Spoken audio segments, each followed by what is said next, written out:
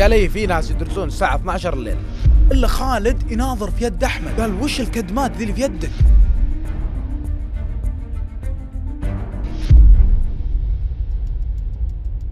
قال له في طالب والطالب هذا اسمه مهند. قد صارت له نفس السالفة. بالضبط. بالضبط نفس السالفة اللي قاعد تقولها لي. وراح وقال للمدرس والطلاب والكل كان يستخف فيه وما حد صدقه نهائيا. قال طيب هذا مهند وين فيه؟ أبغى أقابله في أسرع وقت. قال والله شوف أنا ما أدري وين مكان بيته بس الأفضل إنك تروح للمدير وتسأله. ممكن عند المدير علم ويعلمك وين فيه. قال ولكن أخاف أسأل المدير المدير يقول لي إيش تبي فيه؟ هذا الطالب كان عندنا ونقل أنت إيش تبي فيه؟ اتفقوا أخويا صدق أن كلام أحمد صحيح. مدير بيقول له إيش تبغى ببيت مهند؟ إيش تبي فيه قالوا لازم نسوي بحث داخل المدرسة ونسأل الناس عن بيت مهند مهند هذا لأني أبغى أتأكد اللي صار لي حقيقي أو لا. صاروا يا جماعة الخير ينتشرون في المدرسة ويسألون ها تعرفون مهند؟ تعرفون مهند؟ تعرفون مهند؟ والكل كان يقول ما نعرفه وما ندري عن بيته. ومهند نقل مع مجموعة طلاب.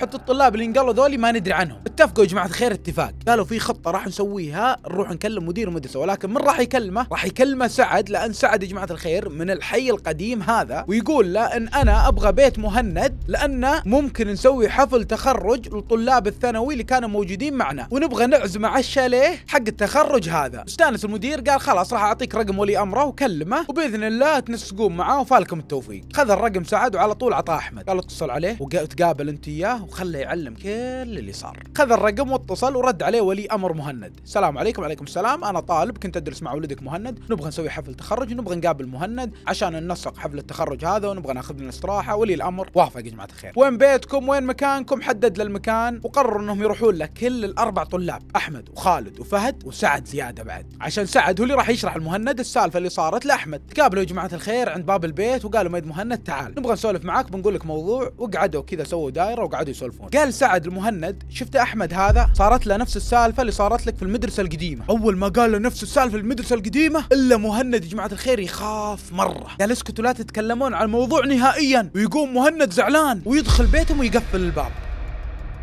شوي اللي يسمعون صياحه برا. في شخص جوا قاعد يصايح. طبيعي إذا سمعت شخص قاعد يصيح جوا البيت والسبب هو أنت فأكيد إنك راح تنحاش. شالوا نفسهم ورجعوا لبيوتهم. كانوا مستغربين من سالفة مهند. يبغون يعرفون ليه سكت وزعل ما رضى يقول لهم نهائيا. أحمد تعلق في الموضوع إلا يعرف. يبغى يعرف الموضوع اللي صار لمهند. بسبب لأن الموضوعين يتشابهون. يعني اللي صار لمهند نفس اللي صار لأحمد. ناموا يا جماعة الخير وصحوا في اليوم الثاني. وراحوا للمدرسة. وقعدوا يتشاورون ويتناوشون. قال لهم أحمد موضوع قال يا جماعة الخير أنا ماني مرتاح. والله ماني مرتاح واللي صار لي مو طبيعي. تبغون تصدقون صدقوا. وإذا تبغون تكذبوني كذبوني. طبعا اللي صدق أحمد اللي هو سعد. سعد اقترح اقتراح على العيال اللي معه. قال لهم وش رأيكم؟ نروح للحارس حق المدرسة ونسأله عن الأنوار اللي كانت شغالة داخل المدرسة. هل هو تاركها ولا هو يقفل الأنوار قبل ما يمشي؟ قالوا تصدقون فكرة. راح نروح له في نهاية الدوام بإذن الله. ونمره ونخليه يعلمنا بكل شيء. طبعا يا جماعة الخير انتظروا لين خلص الدوام وشالوا نفسهم وراحوا للحارس حق المدرسة. سلام عليكم. عليكم السلام حياكم الله. أها وش فيكم؟ قولوا لي. أحمد قال للحارس حق المدرسة يا أخي لو سمحت عندي سؤال بسيط. هل أنتم إذا طلعتوا من المدرسة تقفلون اللمبات؟ قال لحارس المدرسة أكيد نطفي اللمبات. قال له ما تبقى ولا لمبة شغالة. قال له ما تبقى ولا لمبة شغالة. قال أنا أصلا إذا أنتم طلعتوا من المدرسة أرجع على كل فصل وأشيك عليه وأشوف هل في طلاب جوا الفصول ما طلعوا أو لا. وأشيك على اللمبات حقت المدرسة والكهرب وأشيك على المياه حتى المياه يشيك عليها. يعني ما ابقي أي شيء داخل المدرسة إلا أنا أشيك عليه. بعد ما أشيك على كل شيء أفتح بيبان المدرسة عشان المدرسة تتهوى وأفتح بعض الشبابيك في المدرسة. وإذا كان الجو فيه غبار أقفل الشبابيك وأقفل البيبان. قالوا له خلاص الله يعطيك ألف عافية. قال لهم ليه؟ وش فيكم تسألون؟ وش صاير؟ سكتوا ما رضوا يقولون له أي شيء وطلعوا من عنده. أول ما طلعوا أحمد قاعد يتساءل يقول يا أخي هل مستحيل اللي صار لي هذا شيء عادي؟ وليه اللي صار لي نفس اللي صار لمهند؟ وليه يوم جيت أنا أكلم مهند؟ مهند مو راضي يرد علي ودخل وهو خايف وقاعد صايح. أحمد في حيرة من أمره ما يدري وش يسوي ولا يدري وش الشيء اللي صار له. اليوم الثاني يا جماعة الخير في المدرسة. اللي يطق الباب في الحصة الثالثة. طاق طاق طاق طاق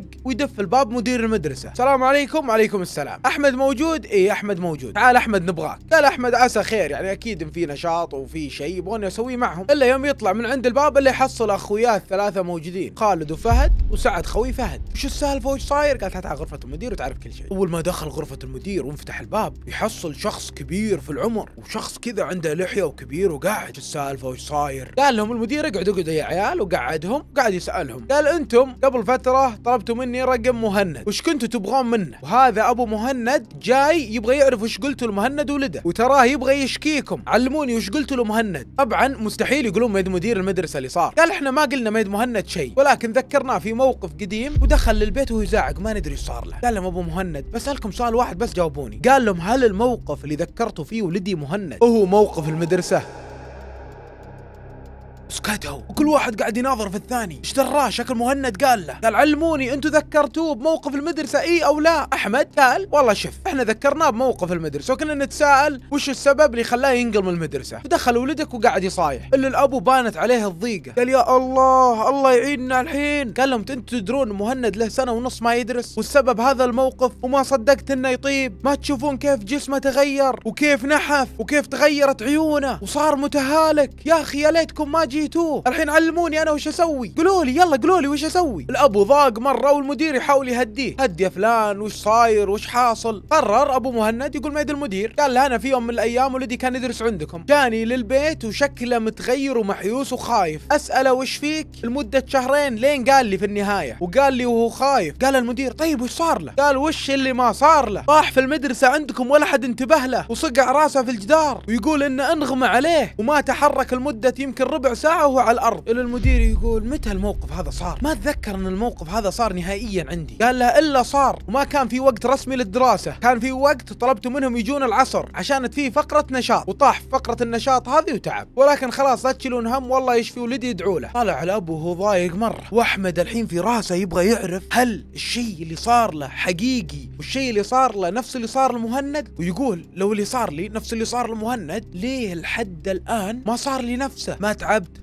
ما ضعفت ما تغيرت نفسيتي الحمد لله أنا بخير. طلعوا كذا من غرفة المدير على طول أحمد قال ميد اخوياه قال يا ولد أنا ما صار لي نفس مهند. أنا شكلي صار لي شيء مختلف مستحيل مو نفس اللي صار لمهند المهم وافقوه الرأي كلهم قال إيه أتوقع مو نفس اللي صار لك انت شيء عادي. المهم يا جماعة الخير تمر الأيام وتمر الأسابيع وموقف مثل هذا مستحيل يطلع من رأس ابن آدم. مستحيل نهائيا الموقف هذا يعني تحسه غريب شوي. يوم من الأيام مدرسة قررت تسوي تدريبات لطلاب الكشافة. ولكن التدريبات ما تكون الصبح تكون المساء. وتبدأ التدريبات هذه من بعد صلاة العشاء. المهم رسلوا الأوراق لكل المدرسة وكل واحد قاعد يسجل اسمه. ولكن هذه المرة يا جماعة الخير كل الأربع طلاب سجلوا اسمائهم أحمد وخالد وفهد وسعد خوي فهد. أربع طلاب سجلوا اسمائهم في الكشافة. ونسقوا مع بعض إنهم يجون بعد صلاة العشاء ويجون في سيارة واحدة. طبعا سعد بيته قريب لما المدرسة. ما يحتاج إنهم يمرونه على طول راح يجون من المدرسة ويتوعدون في المدرسة. مروا مع احمد ذاك اليوم وقرروا ينزلون عند ذاك المكان اللي يوقفون فيه بعدها يطلعون مشي لين يوصلون المدرسة. وهم قاعدين يمشون بعد صلاة العشاء أحمد قاعد يسمع صوت ناس يسولفون. كذا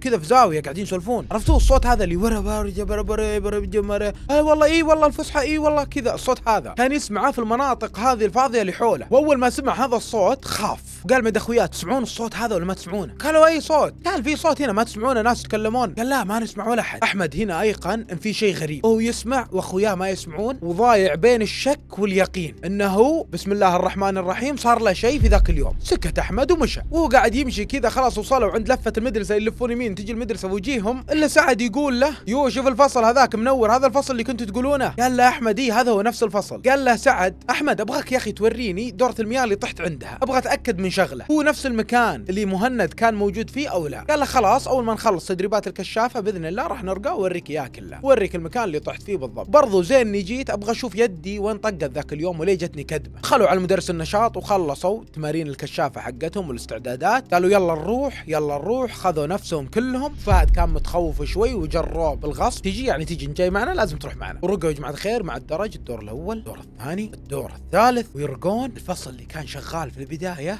عافيه لمباته. مشوا شوي شوي يا جماعة الخير لين قربوا من دورة المياه. يوم قربوا عند دورة المياه يا جماعة الخير الا يسمعون ذاك الصوت. صوت الناس اللي قاعدة تتكلم. صوت الفسحة. عرفتوا صوت الفسحة؟ نفس صوت الفسحة. بسم الله الرحمن الرحيم. ناس قاعدة تتكلم هلا بربره بربر بربر ناس قاعدة تتكلم بأسلوب يعني كأنه صدق سبع أشخاص قاعدين يتكلمون ويعكسون كلام بعض. قربوا شوي شوي ويختفي الصوت نهائيا. أول ما أختفى الصوت وكلهم يلفون وينحاشون. وينزلون مع الدرج بسرعة. طق طق طق طق طق, طق وينزلون مع الدرج. طق طق طق طق طق لين وصلوا عند الباب الأول. الا يناظرون يمين يسار أحمد مو موجود معهم. خافوا كلهم. من الطبيعي إنهم يخافون. راقين أربعة رجعوا ثلاثة. والشخص اللي فوق وهو الشخص صاحب السيارة اللي يوديهم ويجيبهم. خافوا خوف غير طبيعي. قالوا هي لازم نرقى نشوف أحمد وينه. ويتشاورون بينهم خالد وفهد وسعد. لازم نرقى سعد قال لهم إيه ما نترك أحمد نهائيا لازم نرقى نشوفه كلنا. لو يصير اللي يصير. ولو في بسم الله الرحمن الرحيم والله ما خاف. مشينا نرقى كلنا وسموا بسم الله ورقوا. والله يسمون بسم الله ويرقون الا يحصلون خويهم أحمد طايح على الأرض في الدور الثالث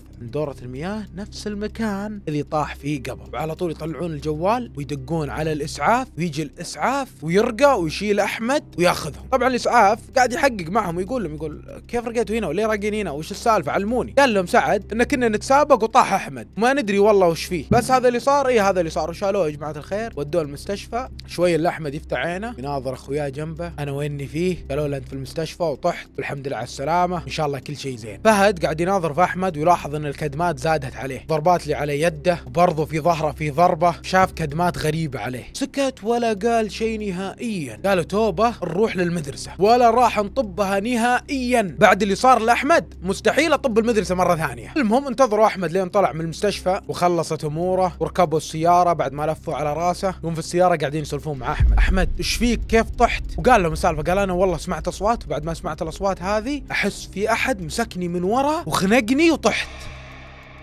وكنت احسبه واحد منكم. ولكن أيقنت يا عيال أن اللي صار لي هو نفس اللي صار لمهند. وأتوقع المدرسة هذه مدرسة مسكونة. ورجعوا يا جماعة الخير على الطريق ونزلوا كل واحد بيته. وهو في البيت إلا أحمد يجي اتصال من رقم غريب. ألو السلام عليكم. عليكم السلام. من معي؟ أنا مهند. أحمد أبغى أقابلك. شو السالفة؟ وش صاير؟ أبغى اقابلك وبس قال يلا جايك. صحى أحمد كان قاعد على السرير صحى أول ما صحى يا جماعة الخير إلا يحس بدوخة يحس بشيء غير طبيعي يحس بخمول ودوخة. طلع من بيتهم شغل السيارة وما قال ميد أحد نهائيا وراح عند مهند وقابل مهند. قال له مهند أحمد أنا بقول لك شيء انتبه تروح للمدرسة مرة ثانية. قال والله العظيم لو رحت لها ما يصير خاطرك طيب. ليه؟ وش السالفة؟ أنا حذرتك يا أحمد الآن. مهند قاعد يكلم أحمد بلغة تهديد أنا حذرتك الآن. لا تروح للمدرسة نهائيا. تسمعني ولا ما تسمعني؟ قال له أحمد خلاص أوكي أبشر. نزل وسكر الباب. بقوة ومشى. أحمد شغل السيارة ومشى وخلاه كذا هو يمشي كذا يناظر في مرايه إلا مهند يناظر فيه. ويناظر كأنه نظرة واحد ضايق عليه. مشى وكمل طريقه ورجع لبيتهم. ينتظر اليوم الثاني للمدرسة. وبعد اليوم الثاني برضه في تدريبات كشافة. يعني يخلصوا مدرسة الصبح يرجع يا جماعة الخير. بعد العشاء يروح للكشافة.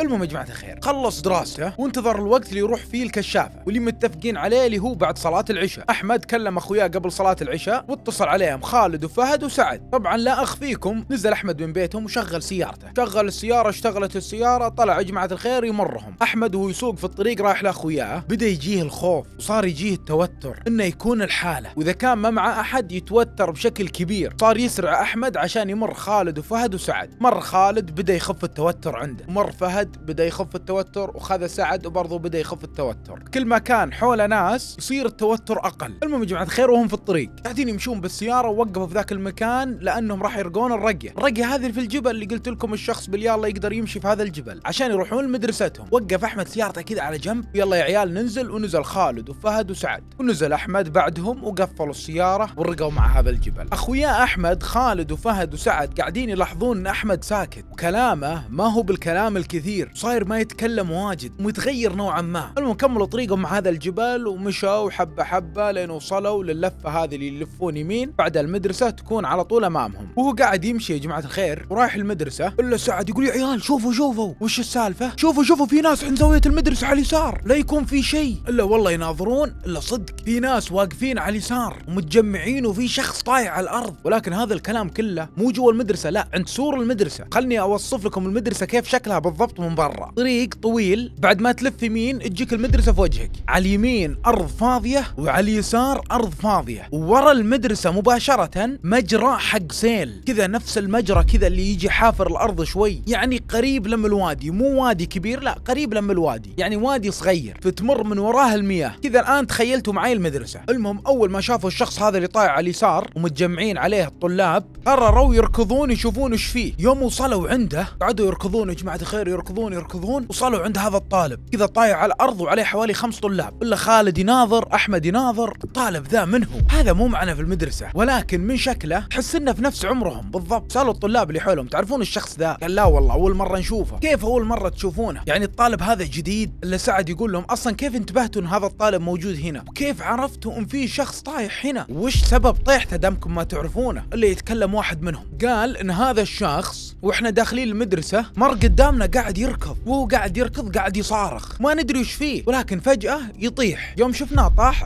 قررنا إن نركض ونساعده ونشوف إيش فيه. قال أحمد زين زين. تعرفون من اللي راح يحل الموضوع؟ خله يجي مدرس الكشافة ونشوف إيش موضوع هذا الطالب. ومستحيل نخليه هنا. قال لهم شيلوه شيلوه سموا بالله وشيلوه. شالوه يا جماعة الخير وودوه عند باب المدرسة. شوي اللي يجيهم مدرس الكشافة. اللي يقول لهم يلا يا طلاب ادخلوا خلينا نبدأ التدريبات. قالوا لا لا يا أستاذ في طالب هنا طايح. تعال شوفه يا أستاذ يمكن تعرفه. والله إحنا ما عرفناه. اللي يناظر فيه الأستاذ يمين يسار. يتمقل فيه ناظره زين الأستاذ ما عرفه نهائيا. قال والله هذا الإنسان أول مرة أشوفه. ولكن وين لقيتوه؟ كان طايح هنا هو يعني. قالوا له السالفه الطلاب هذا الولد يا أستاذ كان يركض ويصارخ شوي في الزاوية إلا طاح. ما ندري إيش فيه. أول ما سمع الموضوع ذا الأستاذ حرفيا تغير شوي وبانت عليه ملامح الخوف. قال كيف قاعد يصارخ؟ قالوا يا أستاذ مر من قدامنا قاعد يصارخ فجأة طاح. قال ما سمعتوا كلمات قالها وهو قاعد يصارخ؟ قال لا والله ما سمعنا ولا شيء. قال لهم زين زين لا تشيلون هم. إلا الأستاذ قال خلاص جيبوا لي موية خلنا نمسح وجه الولد ممكن تعبان أو طايح. خذ الموية كذا الأستاذ يصب الموية لق لق لق على يده. فجأة كذا يغسل وجهه اللي يصحصح. بسم الله بسم الله.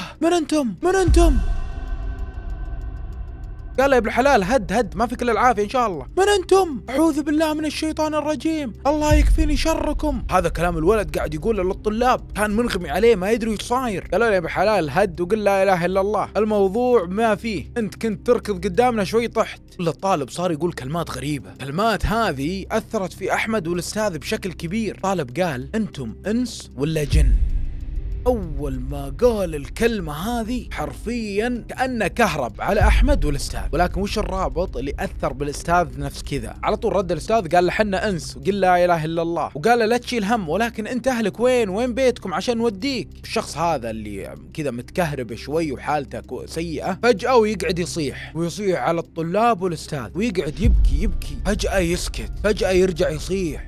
فجأة يسكت الطالب يتغير. الأستاذ بدأ كذا يوش منه وش وضعه ذا؟ بعد هذه الحالة على طول الولد قام يطرش ويستفرغ رايح جاي. حالته غير طبيعية. ولكن لحد الآن اللي خايف أحمد والأستاذ وش الرابط بينهم؟ اللي مخليهم كذا متوترين وخايفين ذا الدرجة. قال الأستاذ للطلاب نادوا لي حارس المدرسة. خلوه يجيني الآن. ممكن يعرف هذا الطالب. قال يلا واحد منكم يروح. أحمد قال أنا والله ما يبرايح أنا بقعد هنا لأنه شوي كان خايف. وزيادة برضه يبغى يشوف هذا الشخص من هو يبغى يسمع أي كلمة يقولها. راح خالد وفهد وثلاث طلاب لأنهم برضه متخوفين وراحوا لحارس المدرسة ويطقون عليه الباب. طاق طاق طاق طاق طاق. ما حد يرد. ويطقون مرة ثانية. ما حد يرد. فجأة اللي يفتح الباب ويطلع ولد الحارس. السلام عليكم وعليكم السلام. وش السالفة؟ وش وضعكم؟ وين أبوك؟ موجود؟ يا أبوي نايم. الساعة الآن تسع. والوقت مشى. له قل ميد أبوك. أن مدرس الكشافة يبغاك ضروري. قال يلا زين ويدخل الولد وينادي أبوه ويطلع أبوه يمشي. المهم الحارس وهو داخل المدرسة جاه المدرس وصار الطالب هذا اللي كان يستفرغ وتعبان بعيد عنهم شوي يبعد عنهم حوالي 15 متر. قال ميد الحارس مرحبا أبو فلان كيف حالك؟ طيب. طالب هذاك تعرفه زين قد شفته قد لمحته. وش موضوعه؟ ما تدري من وين. قاعد يناظر فيه الحارس ويقرب حبة حبة يناظر يمين يناظر يسار. قال والله طالب هذا أنا قد شفته ولكن ما أدري وين. صدق هذا أتوقع إنه في الحي اللي ورا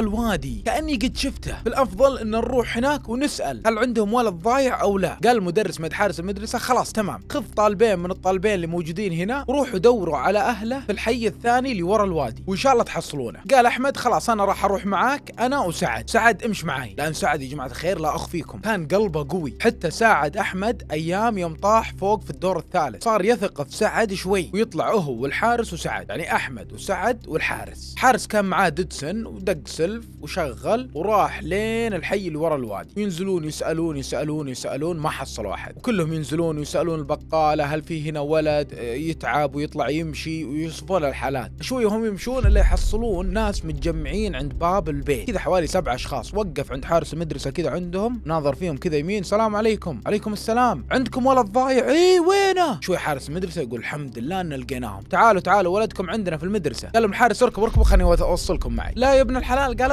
اركبوا مرة واحدة يلا اركبوا ويركب الأبو والولد. الولد هذا اللي ركب أكبر من الولد اللي طاح بسنة واحدة. كان قاعد ورا مع أحمد وسعد. أحمد سأله قال له إيش في أخوك؟ سلامات لأنه يصيح وكذا. قال له والله اسمع يا طويل العمر أخوي ما في إلا العافية إن شاء الله ومو بتعبان ترى هو. ولكن أخوي لاحظت عليه بعض الأشياء. الأشياء هذه ما صارت معاه إلا آخر سنتين. أحمد هنا انشد شوي. طيب وش السالفة؟ وش في أخوك؟ قال لهم في يوم من الأيام أخوي كان يلعب كورة جنب البيت. في أرض فاضية كان يلعب فيها كورة ويلعب كورة على الجدار. ويقعد يشوت في الجدار يشوت بالجدار بالكورة. إحنا وإحنا كنا قاعدين جنب المجلس حق الجدار. ونسمع الكورة كذا يعني تصقع في الجدار فندري إن أخوي قاعد يلعب. نسمع دف طع دف طع دف طع صوت الرجلة مع الكورة وهي تضرب في الجدار. طيب وش صار بعدها؟ كمل. قال فجأة انقطع الصوت. قلنا أكيد إن في شيء صار. وطلعنا إلا حصلنا أخوي طايح على الأرض وفي كدمات قوية على رجوله ويده. أول ما قال كدمات قوية أحمد شد الموضوع وتذكر مهند وتذكر نفسه. قال هذا صار له نفس ما صار لنا بالضبط. قال له أيوه وش بعد؟ وهل في شيء لاحظتوه؟ قال أصلا اللي خلانا نطلع نشوف أخوي مو بس إن الصوت وقف صار يشوت على الجدار بقوة. شوتاته هذه صارت مزعجة لنا وكل ما لها تزود قوته للشوتة. ولكن كانت شوتاته غير طبيعية. قال له طيب إيش تحس بعدها يعني أخوك صار عليه يعني بعدها؟ بعد ما طاح حصلته في كدمة إيش صار؟ قال تغير أخوي تغير جذري. صار كل شوي يستفرغ ويطيح علينا ولا عاد يبغى المدرسة. وصار بعض الأحيان يسولف مع ناس ما ندري منهم ولكن أحسه صار موسوس. بعض الأحيان وهو قاعد يكلم نفسه. أيوه. شلون؟ قال لي والله باحيان يقعد يكلم نفسه. وبعض الأحيان يختفي فجأة. ما ندري وينه فجأة يطلع قدامنا. وبعطيكم موقف قد صار لنا مع أخوي. طبعا لحد الآن ذي السوالف وهم رايحين للمدرسة لأنه ورا الوادي وبعيدة شوي. قال في مرة أخوي اختفى ثلاث أيام. نسأل عنه نسأل عنه ما حصلنا. بحثنا في كل مكان لدرجة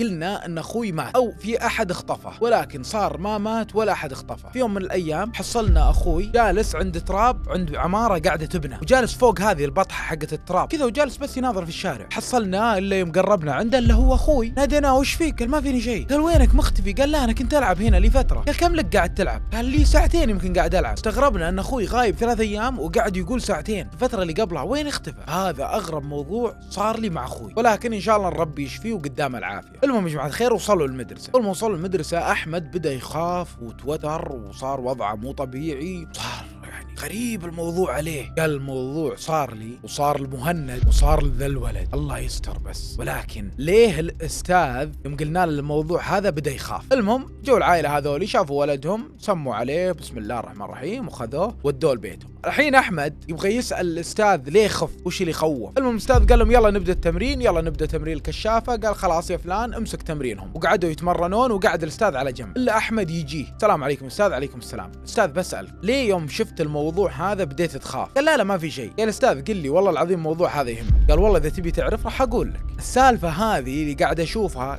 قد صارت لطالب قديم ولكن والله ناسي منه لدرجة صار يسوي تصرفات غريبة. قال مثل إيش؟ يا احيان يسكت احيان يبكي واحيان يسوي أشياء غريبة. ولكن الطالب أنا هذا ناسيه. قال أحمد على طول تقصد مهند؟ قال مهند؟ إيه أتوقع أنه مهند. قال إيه يا أستاذ؟ أتوقع أنك تقصد مهند. ذكرني هذا الموقف اللي صار الولد نفس السالفة حقت مهند. ولكن مهند من ذاك اليوم اختفى ولا عاد صار يدرس. والله يستر والله يحمي عيالنا. إلا شوي أحمد قال للأستاذ قال يا أستاذ أنا بقول لك سر بقول لك سالفة وأتمنى أنك تصدقني. أحمد قال قال يا أستاذ شفت الموقف هذا اللي صار لك قبل شوي والطالب والولد اللي طاح وكذا؟ قال ليه قال يا أستاذ أنا قد صار لي. قال شلون؟ قال له أحمد أنا بقول لك السالفة من إلى وكيف صارت. شوف يا أستاذ أنا من أول ما انقلت لهذه المدرسة وأنا قاعد ألاحظ أشياء غريبة. قال له الأستاذ وش الأشياء الغريبة؟ قال له أحمد يا أستاذ أنا أول شيء سمعته في هذه المدرسة إن في ناس يدرسون بعد الساعة 12 الليل. قال الأستاذ بسم الله الرحمن الرحيم من يدرس بعد الساعة 12 الليل؟ قال لا وسمعت أشياء أكثر من كذا. سمعت إن في ناس يقولون إن على الساعة 12 الليل أو واحدة تضرب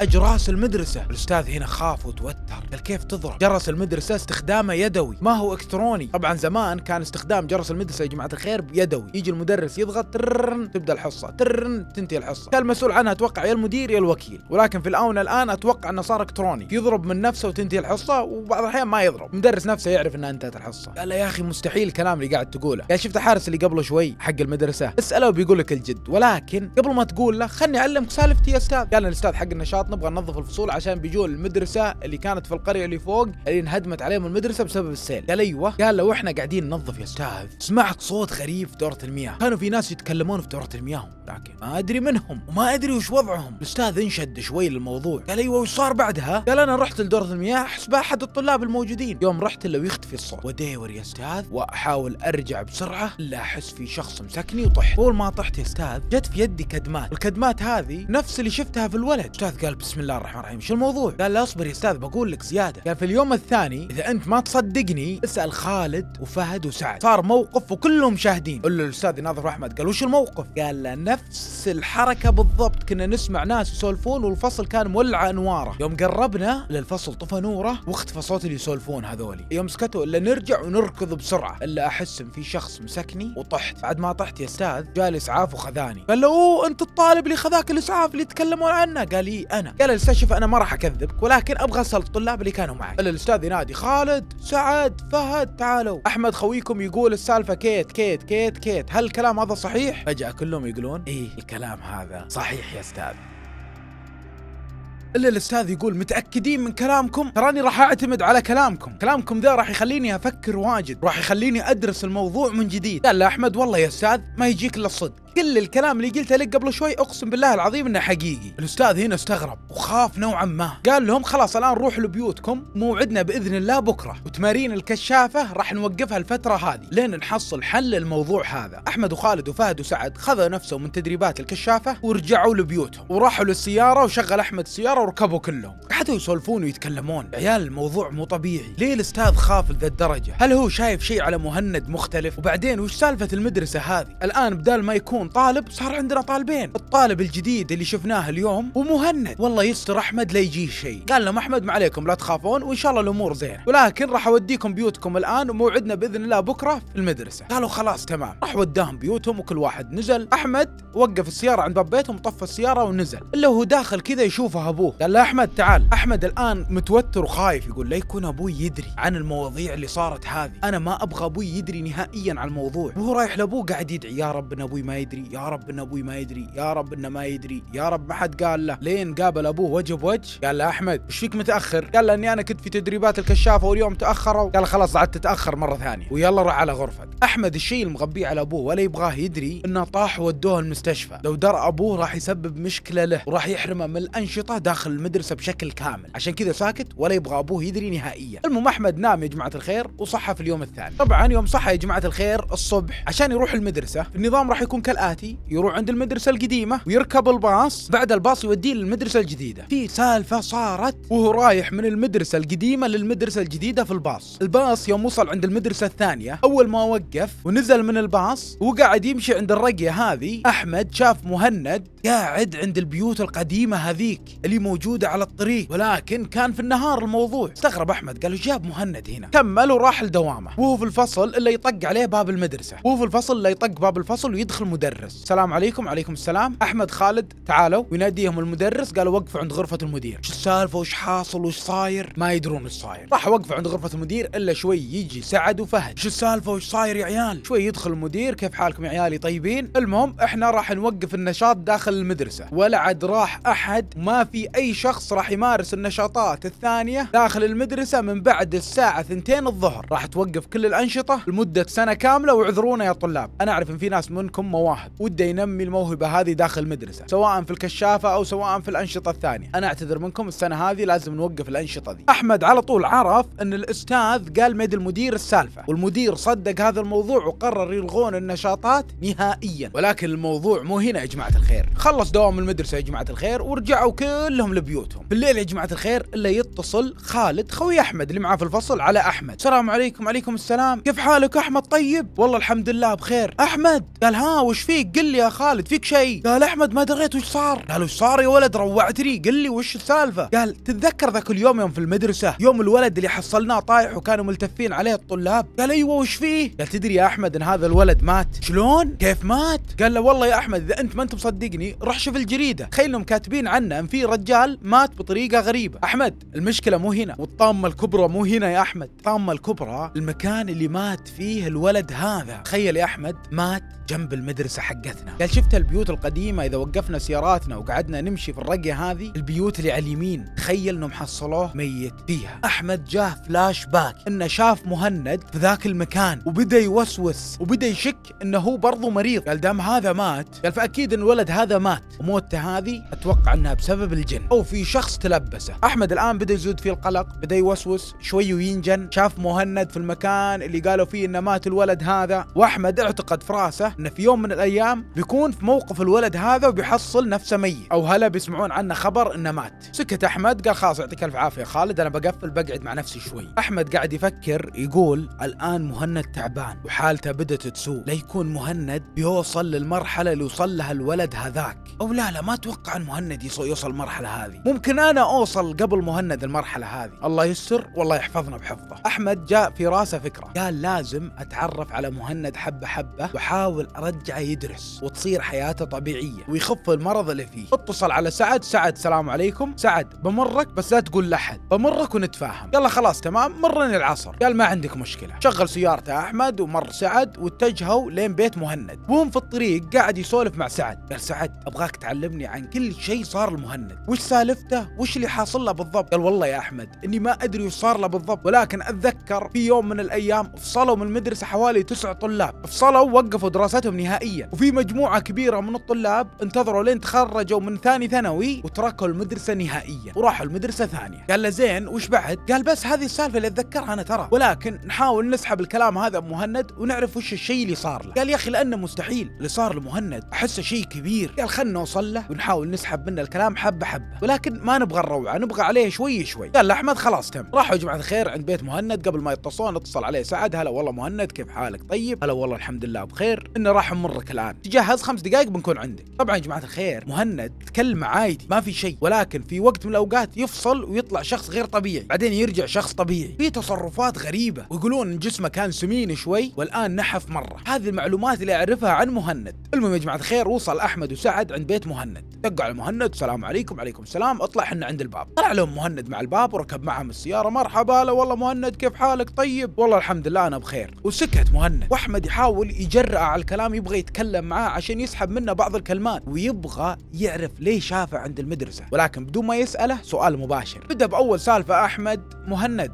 كيف حالك؟ طيب الحمد لله والله بخير. مهند أنت وش تحب تلعب؟ هل تحب تلعب كورة تلعب سلة تلعب أي شيء؟ قال لا والله أنا أصلا ما أحب ألعب نهائيا. يعني ما تحب تلعب كورة ولا سلة ولا كرة أي شيء. قال ما تحب تلعب أو تسوي أي شيء؟ قال لا أنا ما أحب ألعب ولا أسوي أي شيء. قاعد يساله عن جدوله يعني وش نظامك يعني يوم تركت المدرسة؟ وش صرت تسوي؟ هل أنت مرتاح؟ ما أنت مرتاح؟ من هذا السؤال أحمد راح يعرف وين راح مهند أمس. قال له أنا والله ما أروح واجد كل حياتي أكون تاكي جوا البيت. بعض الأحيان أطلع. يوم قال بعض الأحيان أطلع أحمد قال وين تطلع؟ يعني وين تروح بالضبط؟ قال أطلع أوقف عند باب البيت أقعد شوي وبعدها أدخل البيت. هنا أحمد حس ان ما في أمل إن مهند يتكلم بأي كلمة. قرر أحمد إنه هو يدخل له بالسؤال مباشرة. قال لها يا مهند يا أخي أمس كني شفتك عند المدرسة. قال أنا عند المدرسة. متى شفتني? قال له أمس كذا في الصبح الساعة 6 و45 46 دقيقة كذا. قال لا لا غلطان أصلا كنت نايم في ذاك الوقت. كنت نايم؟ شلون؟ من شفت أنا في ذاك الوقت؟ شخص ثاني؟ شخص غريب؟ بعدين أحمد شافه صبح. يعني لو شاف الليل كان الموضوع شوي مريب ممكن ما شاف وجهه زين. متأكد إنه هو مهند. مهند أنا بسأل. أنت ما ودك ترجع تدرس وتعيش حياتك وتخلص الثانوي؟ بس خلص الثانوي وبعدها أفصل. كان رد مهند أنا ودي أدرس ولكن ما عاد أقدر أدرس نهائيا. ليه وش صاير ما له داعي تعرفون كل شيء. واتمنى أنكم ترجعوني بيتي الآن. أحمد قال له يا ابن الحلال هد وخلك معنا شوي بنرجعك بيتك بعد شوي. ولكن نبغى نعرف بعض الأشياء. أنا بس أبغى أعرف سالفتك اللي صارت في المدرسة. يا أخي أتمنى أنك ما تزعل علي. تكفى لا تزعل علي تكفى بس أبغى أعرف وش صار لك في المدرسة؟ وليه وصلت المرحله ذي؟ لأن يا أخي ترضى أن أنا يصير لي شيء. انت شفت الشخص اللي أمس قالوا إنه مات. مهند قال اسكت لا تتكلم. قال إي شفت الشخص اللي مات أمس. قال أنا ما أبغى أوصل للمرحلة هذه وأموت نفسه. كذا وهم يسولفون ويتكلمون شوي مهند يقعد يصيح. قال حتى أنا يا أحمد أخاف إني أوصل للمرحلة اللي وصل لها علي. قال له من علي؟ قال الولد اللي أمس مات هذا اسمه علي وكان خويي معي في المدرسة وطاح معي في نفس المدرسة وصار له نفس الموقف معي في نفس المدرسة وكان خويي مرة. صادق؟ إي نعم صادق. طبعا الكلام هذا كله ومهند قاعد يبكي لأحمد وسعد مستغرب أول مرة مهند قاعد يبكي. قال له يا أخي أنت أمس كنت في المكان اللي عند المدرسة؟ هنا مهند قرر يعترف. قال إي أنا كنت هناك كنت أدري إنه راح يموت لأنه جاه تهديد. التهديد هذا يا عيال تراه من العالم الآخر. وليه ومن اللي هدده؟ وش صاير؟ قال أنا بقول لكم سالفتي كاملة وأتمنى أنكم تسمعون لي.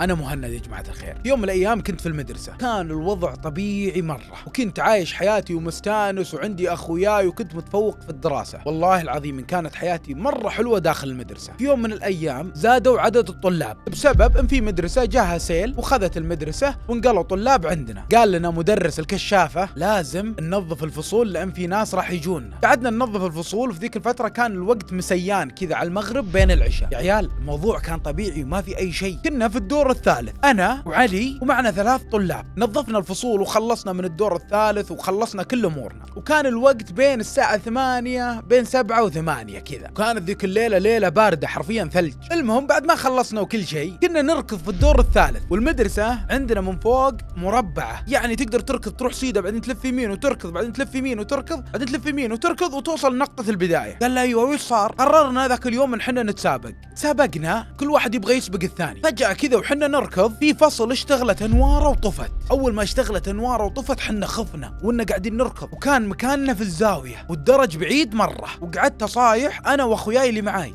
ونسمي بالله وخايفين مرة. ولكن ونا نمشي في لمبات كذا معلقة على الجدار. اللمبات هذه الفر اللي تنفر. فككناها لأنها كانت ما تشتغل. لأن ما ندري من جوا الفصل قلنا أكيد إن في شيء أو في بسم الله الرحمن الرحيم داخل الفصل. قل فككنا اللمبات وقعدنا نرجم جوا الفصل. وحنا خايفين عشان نوصل عند الدرج وننزل المهم علي رجم واحدة جوا الفصل. فجأة سمعنا شخص قاعد يصايح. آه! وصرخاته غريبة. ما هي صرخات آدمي؟ ونزلنا مع الدرج بسرعة. يوم نزلنا مع الدرج وصلنا للدور الثاني لاحظت إن علي مو معنا. يا عيال علي وقفوا خلينا نجيبه. يقول راحوا وخلوني. وأرجع أنا من جديد وأجيب علي. وأنا قاعد أجيب علي وأبغى أشيله إلا ينغمي علي وأطيح.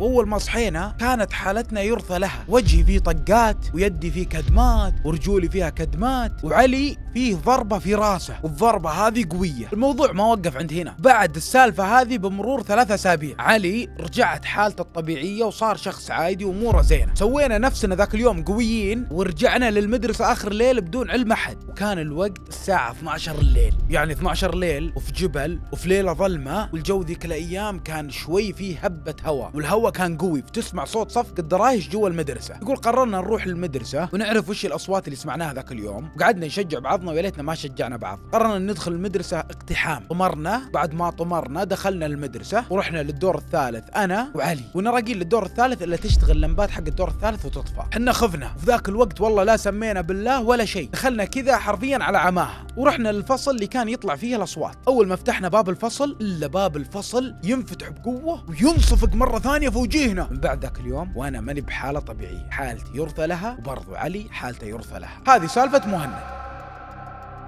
المهم أحمد جماعة الخير سمع سالفة مهند وسمع سالفة علي وش صار عليه وعرف إن علي خوي مهند. واستنتج أحمد من الموقف هذا كله ليه مدرس الكشافه ذاك اليوم خاف لأنه صارت السالفة المهند ولكن أحمد يدور في راسه قال بما إن علي هذا خوي مهند كان يدرس مع مهند. ليه أستاذ الكشافة ما عرفه؟ على طول أحمد سأل مهند. مهند يا أخي ليه أستاذ الكشافة ما عرف ذاك اليوم علي؟ قال له لأنه نحف وتغير وجهه بشكل كبير وحتى وجهه طلع أسمر. أحمد هنا عرف إن الموضوع اللي صار. لمهند نفس الموضوع اللي صار له بالضبط ولكن السالفة مختلفة. مهند وعلي أذوهم ورجموا عليهم اللمبات وقرروا يرجعوا لهم مرة ثانية. ولكن أحمد ما سوى الشيء هذا. أحمد قال لمهند يا أخي أنا خايف عليك وخاف يصير لك شيء وما أبغى الموضوع يوصل مثل ما وصل لعلي فأتمنى إنك تحافظ على نفسك ودنا إن أنت تصير خوينا ونجلس معاك ونعرف كل شيء. طبعا السالفة هذه كلها ومهند قاعد يبكي طبعا. ما هو في حالة طبيعية. قال له مهند أنا راح اخويكم بشرط واحد إن أي كلام أقوله لكم؟ يا أخي صدقوه. أي كلام أقوله لكم؟ لأني أنا قبل كنت أقول ميد اخوياي إني أشوف أشياء ما كانوا يصدقوني. طق أحمد يده على صدره قال موضوعك عندي أنا راح أصدق أي كلمة تقولها لي. المهم يا جماعة الخير رجعوا كلهم لبيوتهم. مهند نزل بيته وأحمد رجع لبيتهم. طبعا اليوم الثاني راح يكون يوم فيه إجازة اللي هي إجازة نهاية الأسبوع. صحى من النوم أحمد إلا هو تعبان مرة وأنتو بالكرامة قاعد يستفرغ ويجيه دوار ودوخة. هنا أحمد خاف وحس الموضوع مو طبيعي. وأخيرا أحمد قرر يختار الخيار السليم واللي هو الخيار الصحيح مرة. إنه يعلم أهله عن كل شيء صار له. وأول شخص كلمه اللي هو أبوه. السلام عليكم هلا يبا أبغاك شوي. شو السالفة أحمد؟ شو الموضوع؟ أنا أبغاك شوي بقول لك موضوع بس بسيط وأشياء أنت ما تدري عنها. عسى خير إن شاء الله. خلاص انزل تحت وبجيك. نزل أحمد تحت في الصالة الا يجي عند أبوه. هلا يبا كيف حالك؟ يبا أنا قبل فترة صارت لي مشكلة. المشكلة ويقعد يشرح له المشكلة من البداية للنهاية وإنه طاح في المدرسة وإنه راح للمستشفى